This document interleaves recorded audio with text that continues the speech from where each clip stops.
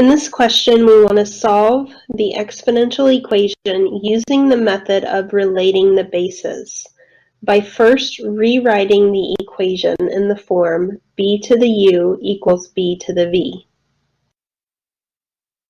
This, this equation is the square root of 3 equals 27 to the x. So the directions have specified what method we're going to use here. And our goal is to rewrite our equation so that we have the same base on both sides.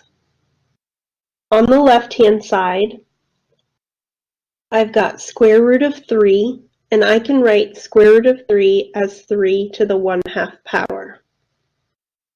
That's writing that with a base of 3 and a power of 1 half.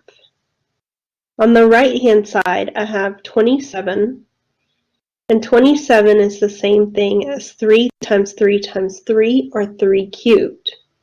I can write this as 3 to the third power, and I would need to carry down that x that was already in the exponent.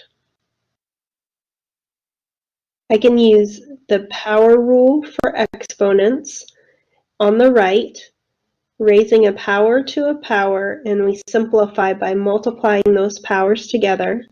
That would be 3 to the 3x. Now I've written this in the format that was um, mentioned over here, having the same base on both sides.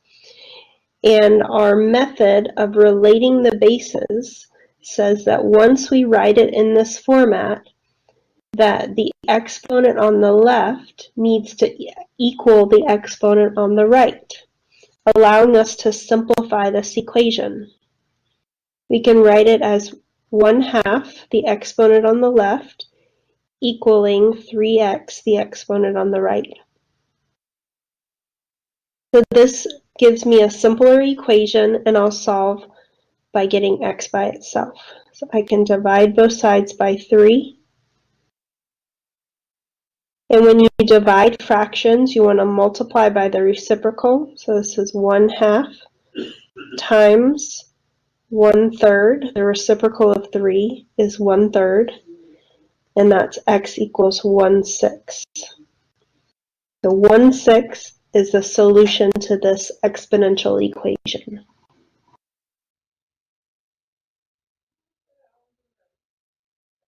Thank you for checking out my videos.